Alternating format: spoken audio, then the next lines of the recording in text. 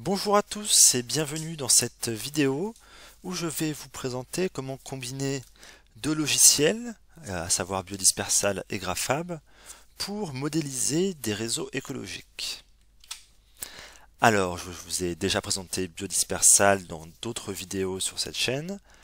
Pour vous dérouler rapidement la méthode, il permet de partir de données sources brutes, comme ici du Corelland Cover et une couche de rivière, euh, de les uniformiser au format raster, de les fusionner pour obtenir une couche d'occupation du sol complète par sous-trame. À partir de cette couche qu'on a obtenue, on définit des coefficients de friction, c'est-à-dire évaluer à quel point un milieu est favorable au déplacement des espèces. À partir de cette couche de friction et de réservoirs de biodiversité qu'on a déjà identifiés, on peut alors modéliser des aires potentielles de dispersion des espèces, qui peuvent ensuite être interprétées comme des corridors surfaciques. Le logiciel Grafab, quant à lui, permet d'aller un peu plus loin dans cette modélisation en partant de cette couche de friction qu'on a obtenue et de la couche d'occupation du sol. Il se base en fait sur la théorie des graphes, qui est une théorie mathématique qui permet de formaliser comment fonctionne un graphe, c'est-à-dire un ensemble de nœuds ici les patchs d'habitat ou réservoirs de biodiversité, et d'arêtes, ici les corridors écologiques, qui sont représentés juste par des traits dans, l'image du milieu. Le fait de se baser sur la théorie des graphes permet ensuite de calculer des métriques avancées qui caractérisent l'état du réseau. Et cela va permettre de qualifier et quantifier notre réseau écologique.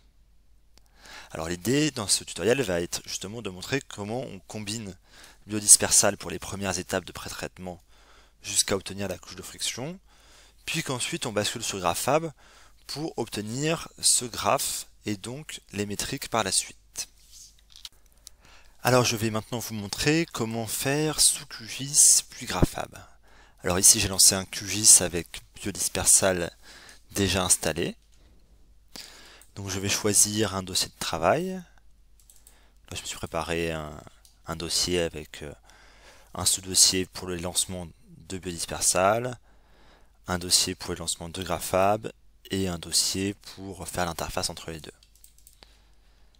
Donc je vais dans biodispersal. Là j'ouvre une configuration que j'avais déjà créée. Vous pouvez voir dans les autres tutoriels comment faire. Et je lance l'étape de sélection qui permet d'uniformiser toutes les données.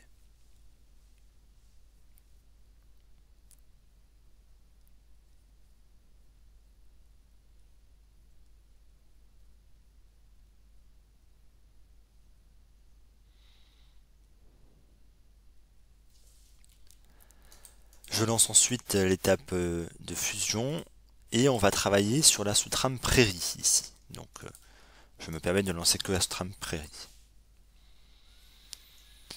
On passe à l'étape de friction qui est déjà remplie aussi. Et pareil, je ne lance que pour la sous-trame prairie.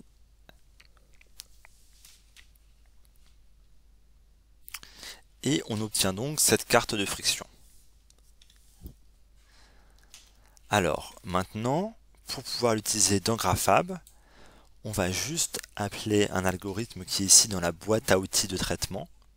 Donc si jamais cet onglet n'apparaît pas dans votre QGIS, il faut aller dans le menu traitement et appuyer sur boîte à outils.